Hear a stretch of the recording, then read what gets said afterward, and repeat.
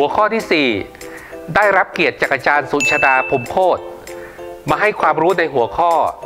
การประยุกต์ใช้สังคมออนไลน์เพื่อสังคมและเศรษฐกิจ จะกล่าวถึงการประยุกต์ใช้สังคมออนไลน์เพื่อสังคมและเศรษฐกิจ เชิญติดตามได้เลยครับ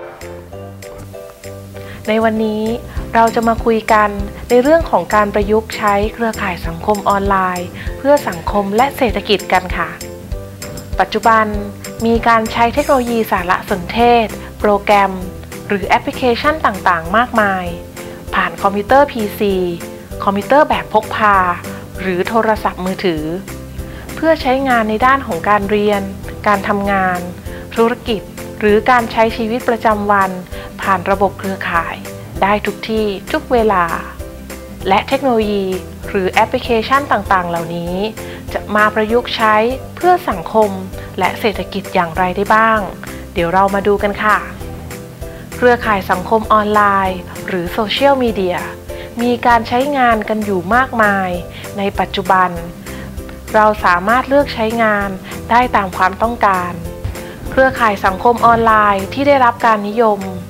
จากข้อมูลสถิติประชากรไทยที่ใช้สังคมออนไลน์ในปี 2015 งานสัมมนา ภายในงาน Thailand Social Award 2016 และเผยแพร่ ในเว็บไซต์ IT24 HRS พบว่า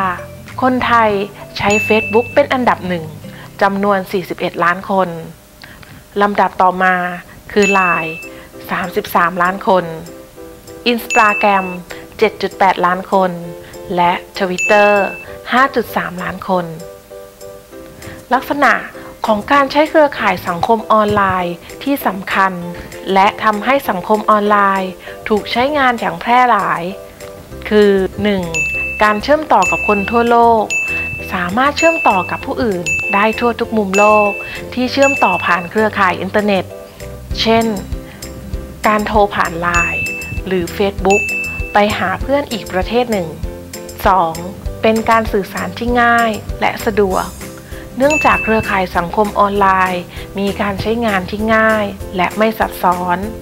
การสื่อสารไม่ต้องใช้การเดินทาง รวมทั้งความพร้อมด้านเครือข่ายของประเทศไทย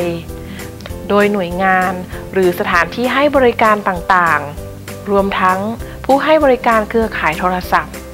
มีบริการ Wi-Fi ฟรีทำให้สามารถติดต่อสื่อสารกันได้ทุกที่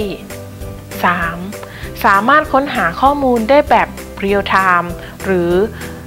การค้นหาข้อมูลได้ทันทีที่ต้องการผ่านระบบเครือข่าย และ 4. การสร้างเครือข่ายที่มีความสนใจเหมือนกัน เช่น กลุ่มคนรักการทำอาหาร